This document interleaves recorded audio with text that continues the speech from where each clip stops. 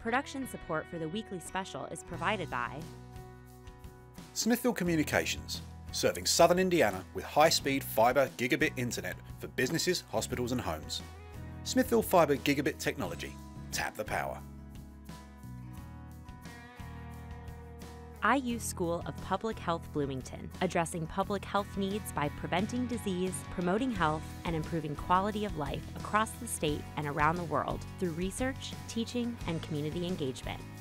IU Credit Union, now offering mobile access to IU Credit Union accounts, helping account holders check balances, transfer funds, and pay bills through their mobile devices. Available through the IU Credit Union apps for iPhone and Droid the Al Cobine Recognition Endowment Fund, established by friends and family of Al Cobine to support jazz initiatives on WTIU and WFIU. And WTIU members, thank you. Tonight, join us in Terre Haute as we explore the cultural icons of this fantastic city. We'll travel to the shrine of St. Theodore Guerin, art spaces of the Wabash Valley, Mr. Blanding's Dream House, Clabber Girl, and so much more. You won't want to miss it. It's all coming up tonight on the weekly special.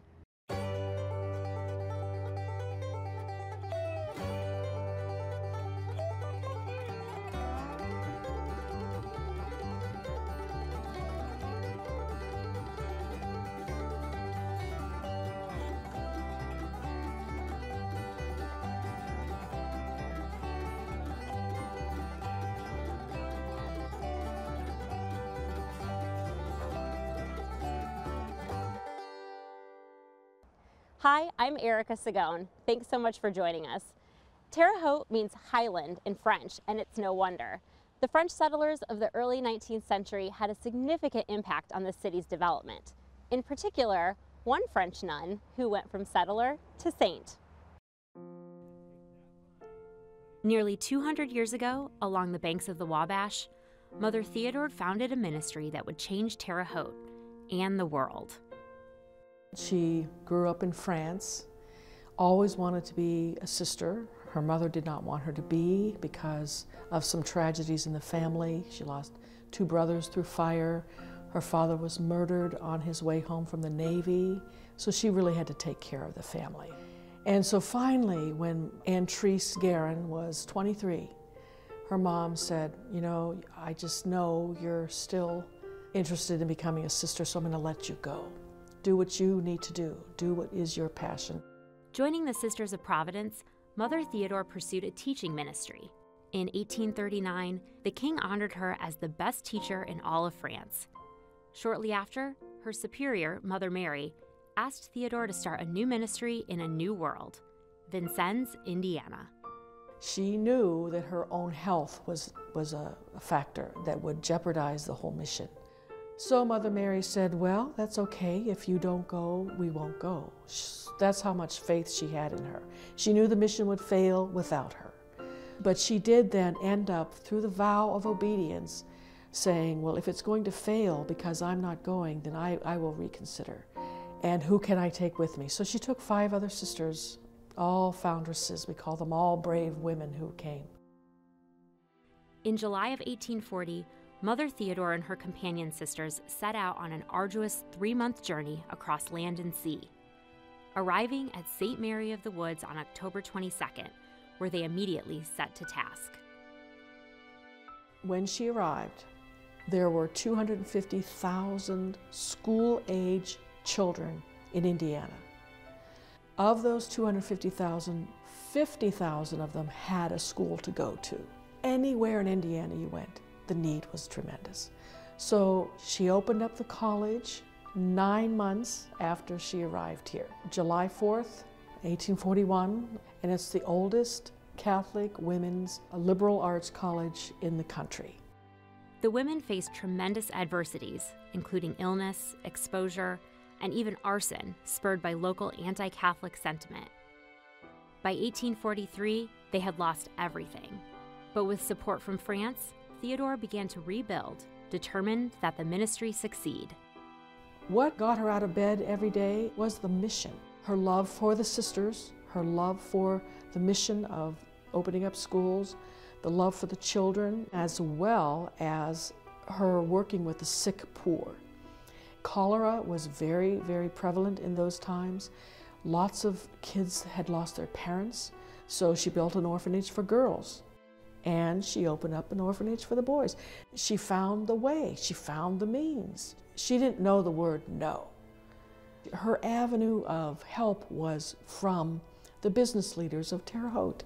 She would cross over the river, go into town daily, and she dispelled their fears one by one by one through her relationship with them. Faith to her was bigger than any one religion. She would interact with all kinds of faith traditions here.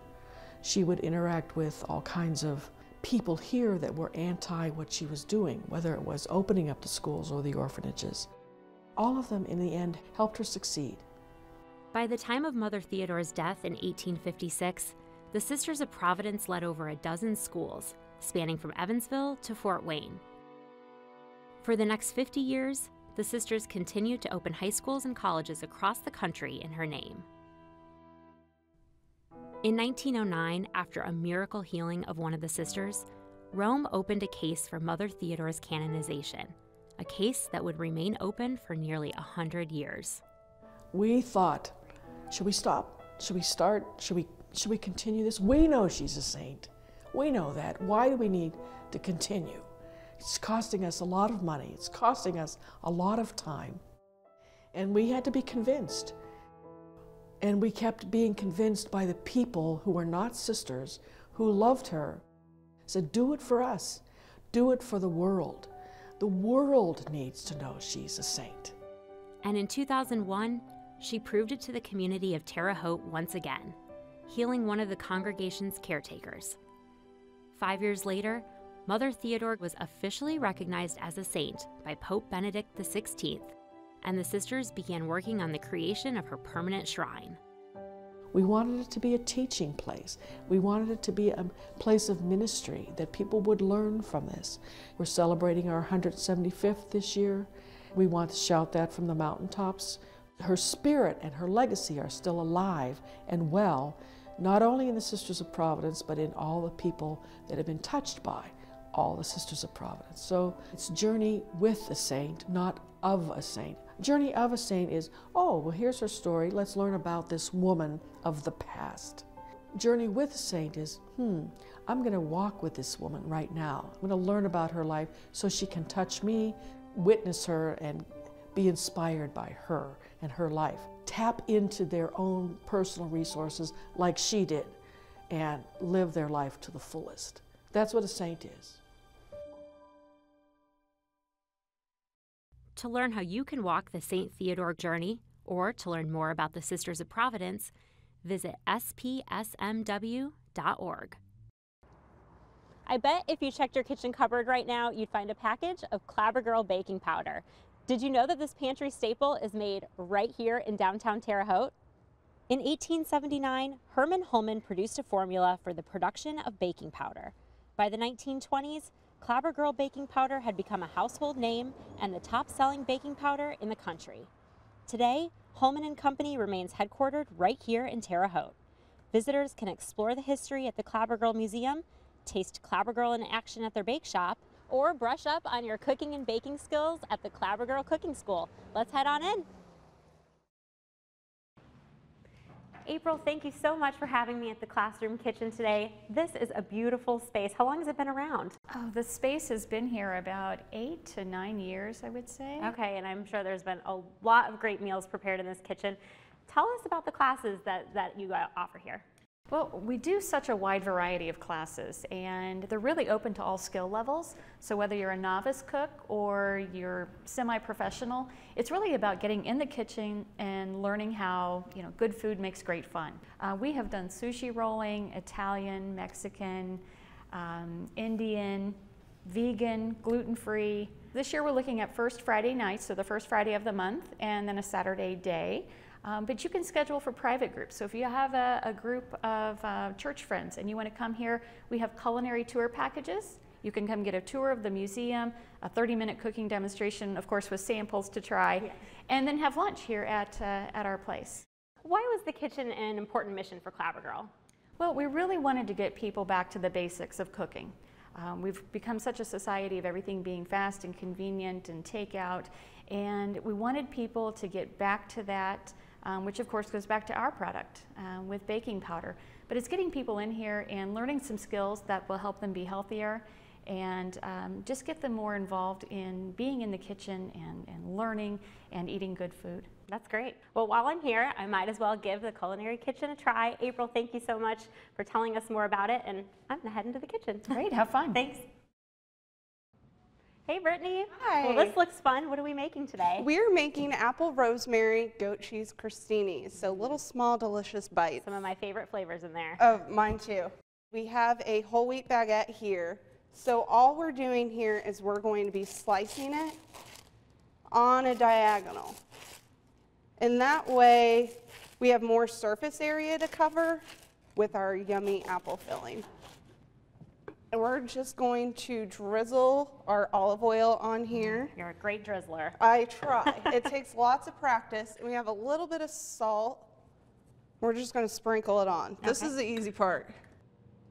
So while the bread's toasting, we're gonna go ahead and make the goat cheese spread. What do we do? Okay, on the goat cheese spread, we have a food processor here. So what we're going to be doing is adding in about five ounces of goat cheese. So if you want to get that in there. We have a little bit of heavy cream. Uh, we have four tablespoons, so we can go ahead and pour that in. If you don't have heavy cream, milk is fine. You just are wanting to get it to where the goat cheese is easier to spread. All right, so it's loosening it up. Uh-huh. So then we have our salt. If you want to go ahead and pour that whole thing in there. We have about a teaspoon of salt and then black pepper. Perfect. And then we have a little bit of granulated garlic. If you're not a garlic fan, you don't have to put it in there, but I love everything garlic, Me so I always add that in. More the merrier. Uh-huh, absolutely. So what we're gonna do is put this on here, and then we would turn it on and pulse it for just a couple of seconds. You just wanna get it nice and creamy. Now we are ready for sauteing. If you wanna grab our saute pan and go ahead and put it over the flame, I'm gonna have you put the apples in the pan.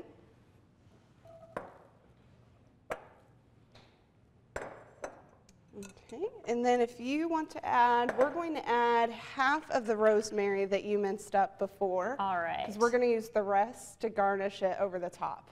We're going to do a pinch of kosher salt and a pinch of black pepper in there.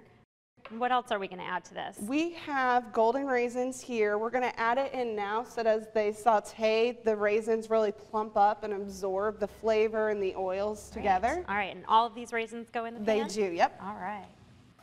Oh my gosh, this smells amazing. Is that how you know it's done? Usually you're just looking for when the apples here have gotten a little soft, not quite, you don't want them mushy, but just a little soft. And we're just gonna move this just slightly so it's off the heat and we're gonna start assembling, which is my favorite part because this is when we get to make it pretty. And my secret weapon to this dish is we have some honey here. Oh yes. And we're just going to drizzle some of the honey over the top. Just when you thought it couldn't get any better, here we go. And then the finishing touch is we're going to add just a little bit of our chopped rosemary and sprinkle that just right over the top. Well, we're going to go ahead and finish these out, but you can head to the Culinary Kitchen's website, myclabbergirl.com, for a list of current class offerings. To find the recipe for these apple rosemary goat cheese crostini, head to weeklyspecial.org. Well, Brittany, thanks for taking us through this delicious dish in a dream kitchen. And now we're going to go check out Terre Haute's dream house. From the times of ancient cliff dwellers to the times of today, the today of modern cliff dwellers, down through the centuries, man has constantly improved his living condition. Mr. Blandings builds his dream house. Direct from the pages of the best selling novel comes the laugh and love riot of the year. Spurred by the newly released 1948 movie starring Cary Grant and Myrna Loy, General Electric partnered with Hollywood's RKO Studios to build 76 dream homes across the nation, including one located on Terre Haute's famed Ohio Boulevard. My guess is that it, you know, it was the post-war effort to start building new homes. And so this was a way that they could build a little excitement around it. And they're built from East Coast to West Coast. They're all different designs and different styles, but they all had to include, you know, the latest features that were available, the most modern things. They all had dishwashers and garbage disposals and thermostatically controlled heating and air conditioning. Any special lighting features or plumbing features, anything that was new and available, that's what they were all built with. Terre Haute's dream home also included an intercom system, the Teletalk, and walls made out of reinforced concrete 12 inches thick. There are two other dream homes in Indiana that I know of. There was one in Indianapolis, and then there was another one in South Bend. This was the only home that was built with a steel frame, and the framing for this house was built by a company called Stran-Steel in Terre Haute. I think that the developer, which was Newland Johnson Company, I think they decided they wanted to do something that was just different. On October 22, 1948, the same weekend as the screening for the movie at Terre Haute's Indiana Theater, the house opened for public inspection. Over the next month, the community paid 25 cents a head to tour the futuristic residence. During that month, 100,000 people came through. For the open house that we held in July of last year, there were about 150 people that came. People got to tour the house top to bottom and see what was thought to be innovative 66 years ago part of it was also nostalgia. You know, we had several older folks who had been to the original open house, good memories of that, and, and they were so anxious to come back and, and see it again. One good old friend of ours, he said that he remembers that when he and his wife Betty came to look at this house, you know, came and paid their quarter to get in, he said, you know, we walked through this house and we thought, gosh, we'll never be able to afford a house like this. I think that was the reaction of probably a lot of people. You know, post World War II, things hadn't really become prosperous yet, but we're trying to uplift everyone and prove to the world that our great society is still great. You know, I hope that when the time comes and, and the house is 100 years old, that whoever owns it at that point would be happy to do the same thing again and allow people to see what's happened after a century. For more information on how you can tour Mr. Blanding's dream home and to learn about other upcoming Vigo County Historical Society events, visit vchsmuseum.org. One of the things that you'll find throughout Terre Haute are beautiful sculptures like the one behind us, and these are thanks to Art Spaces of the Wabash Valley. It's a nonprofit organization that's peppered Terre Haute with 14 beautiful works of public art. Mary, tell us a little bit more about this organization.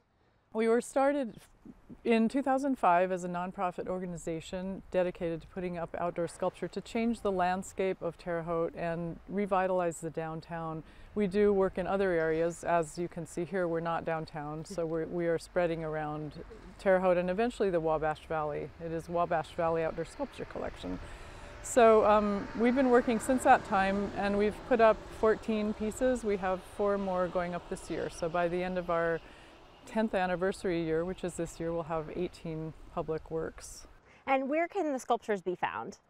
Well, they're found throughout the downtown on the campus of Indiana State University. There's one out at Rose-Hulman Institute of Technology, and there are several in city parks, including this one in Fairbanks Park. We're getting ready to put one up in Deming Park as well on the east side. Now the piece behind us by Teresa has a really great story. What can you tell us about it? It does. It's called A Song for Indiana and it's to commemorate our state song on the banks of the Wabash Far Away, which the legislator, legislature declared as our state song in 1913. So it's just over 100 years old as designated as our state song. It preceded even the designation of the state flag. So it was really important. And um, it honors, this sculpture honors the composer Paul Dresser, who was born in Terre Haute, in the house that's right behind us over here. So it's really honoring both the composer and his music, as well as the river, which is right down behind you. You can see it through the sculpture kind of see it. when it's high enough, and I think it is today. Um, so it, it's really challenging for an artist to take all of those elements and put them in one piece, but Teresa did a fantastic job, and we're really thrilled with her piece. Now visiting each of these 14 pieces of public art is a really neat way to explore Terre Haute. So Mary, thank you so much for telling us a little bit more about Thank Art you. Spaces. And to learn about the organization's most recent initiatives, visit wabashvalleyartspaces.com. Mary, earlier you mentioned that Bill Wolfe was one of the artists that was part of Art Spaces, and we actually got to spend a little bit of time with him. Let's take a look. I knew at four years old that I wanted to be an artist. My grandmother used to set me right here in, in this rocking chair and made me draw. She would get out Life magazine, have a stack of Life magazines here, and just keep drawing the pictures. There'd be animals, elephants, and natives and whatnot in, in, it. And eventually, uh, I learned how to draw. My grandparents lived out in the country in Parke County, and and there really wasn't any toys or anything to, to play with. Uh, as we got older, uh, my two brothers uh, and I, we played out in the woods. You build forts out there, and that's where I learned that you could find clay in the creek. And I realized you could just mesh it up and, and make animals and things and, and put them up in the sunlight and the sun would dry them out. That's my initial beginnings is how, how it started to click that I could make things out of clay. I was working uh, at the uh, advertising agency and I had someone come and, and ask me if I'd be interested in doing uh, the Korean War monument for Vigo County on the courthouse lawn. I said, uh, yeah, I, I could try. And so that was my first time, and I had no idea what I was doing. I would wad up pieces of newspaper and, and would uh, duct tape it to uh, uh, a PVC pipe skeleton, but I got the figure built up and then put clay over the top of that, and it worked out. Primarily all, all that I've learned, I've self-taught. I believe that almost anybody can teach themselves. If, if they want to do it, they can do it. And even today, every one of my pieces that I do, every sculpture, statue that I do, it gets easier and it gets better. So it's just training. By the time I'm 90, I'll be really good.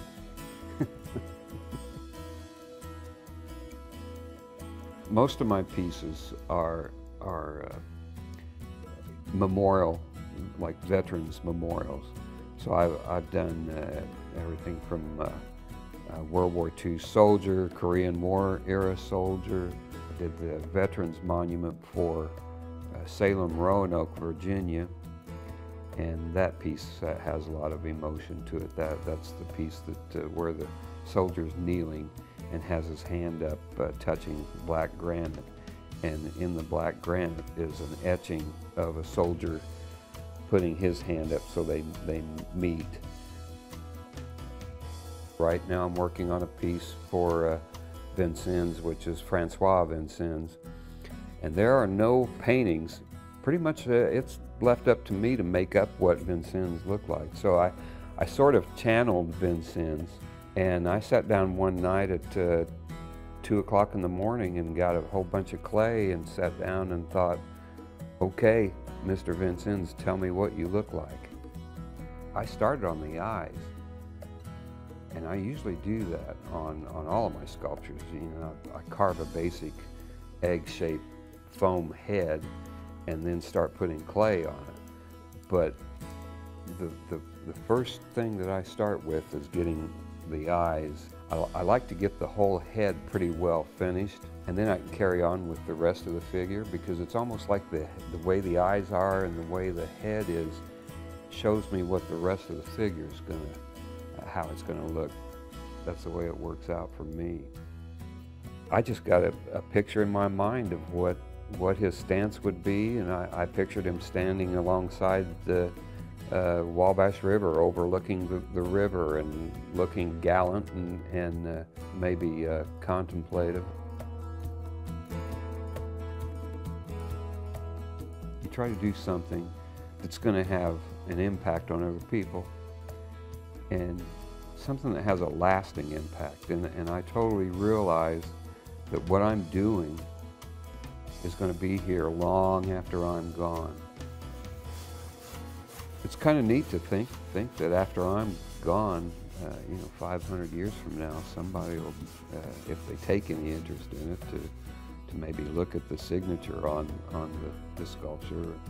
Not only will uh, my legacy live on, uh, hopefully it, the the piece that I'm doing, the sculpture of their legacy lives on too. Find out more about Bill Wolfe's latest projects or learn how you can see one of his sculptures near you by visiting bill-wolf.com. And to get more ideas about great Terre Haute events or attractions, visit terrehaute.com. And of course, see other Terre Haute stories at weeklyspecial.org. Well, that's all the time that we've got here in Terre Haute. I hope you've enjoyed exploring this wonderful city. Now you've got to get here and see it all for yourself. Goodbye.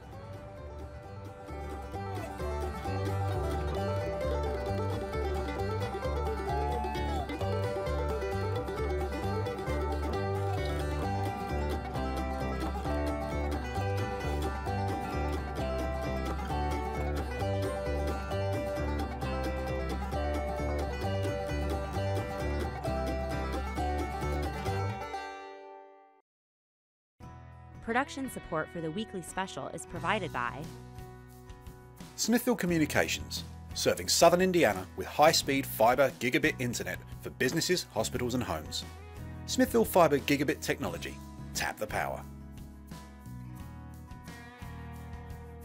IU School of Public Health Bloomington, addressing public health needs by preventing disease, promoting health, and improving quality of life across the state and around the world through research, teaching, and community engagement.